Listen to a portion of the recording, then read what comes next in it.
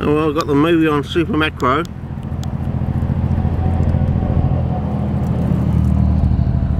I don't know what you uh, what you're seeing, but uh, it should all be a blur now, unless it can somehow readjust.